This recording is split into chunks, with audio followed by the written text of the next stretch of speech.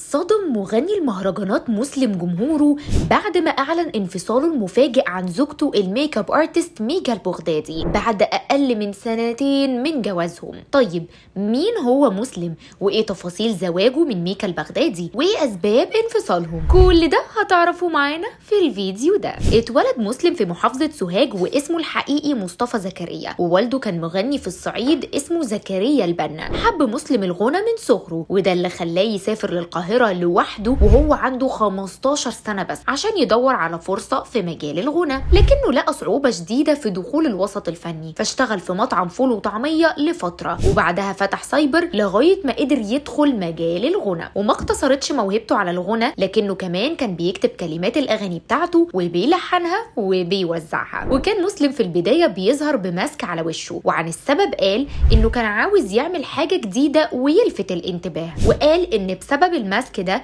الناس افتكرت إن شكله وحش أو عليه طار فمتخفي فقرر يخلع الماسك في كليب أغنيته خطر وما بقاش يظهر بيه تاني. في سنة 2022 اتعرض مسلم لضغوط كتيرة بسبب تضييق الفنان هاني شاكر واللي كان نقيب الموسيقيين وقتها على مغنيين المهرجانات فقرر يعتزل الغنى. وده كان في شهر أكتوبر سنة 2022 لكن بعد شهرين بس أعلن مسلم عودته للغنى وده كان في شهر ديسمبر من نفس السنة. واتجوز مسلم مرة واحدة في حياته وكانت من ال makeup artist والمصورة ميكا البغدادي واسمها الحقيقي مي وده بعد قصة حب قوية جمعتهم. وعملوا فرح كبير في شهر يناير سنة 2022 ورزقوا بابن وحيد في شهر نوفمبر من نفس السنة سموه مسلم. في شهر نوفمبر سنة 2023 عملوا حفلة عيد ميلاد كبيرة لابنهم لكن الحفلة دي عرضتهم لانتقادات شديدة وده لأن الحفلة تزامنت مع الأحداث الجارية. بعد شهر واحد اتفاجئ الجمهور بإعلان مسلم في شهر ديسمبر سنة 2023 بانفصاله عن ميكا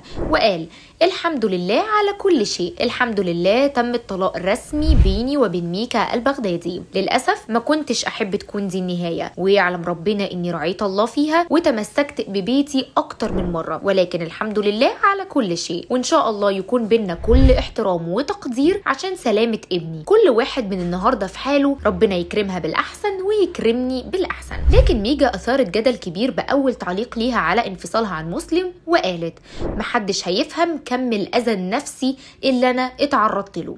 فرد عليها مسلم وكتب بعد ما اطلع وتظهر وتربي تسيبك في أول محطة. أسد يالا في إيه؟ وده اتسبب في ترديد أخبار كتير عن تعريض ميكا للخيانه من مسلم وإنه اتجوز عليها. واتقالت أخبار تانية بإن حفلة عيد ميلاد ابنهم اللي أثارت الجدل هي اللي كانت السبب في انفصالهم. لكن ميكا نفت كل الأخبار دي وعبرت عن ضيقها الشديد من تدخل البعض في حياتهم الشخصية وكتبت ممكن كفاية كفاية بجد كفاية كلام يضايق كفاية تدخل بطريقة تعصب وكفاية شائعات وحاجات مش صح أصلا نهائي. أنا ولا حد اتجوز عليا ولا سيبنا بعض عشان عيد الميلاد. كفاية تخاريف. أنا وهو ما حصلش نصيب لأسباب تخصنا. وربنا يكرم كل واحد فينا بكل احترام. فياريت كفاية كلام يضايق. وشكرا طبعا لكل حد قال كلمة كويسة وكان محترم.